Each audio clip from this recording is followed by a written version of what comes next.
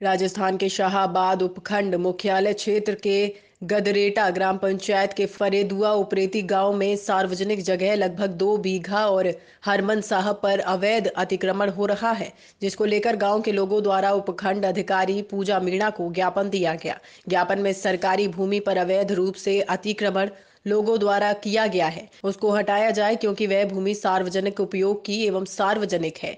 ग्राम में मांगीलाल नरेंद्र सिंह नारायण लाल गिरधर सिंह, विजयपाल सिंह, देवेंद्र सिंह, चंदन आदि द्वारा उक्त समस्या को लेकर ज्ञापन दिया गया। ज्ञापन के माध्यम से सरकारी भूमि पर हो रहे अवैध कब्जे को हटाए जाने की मांग की गई।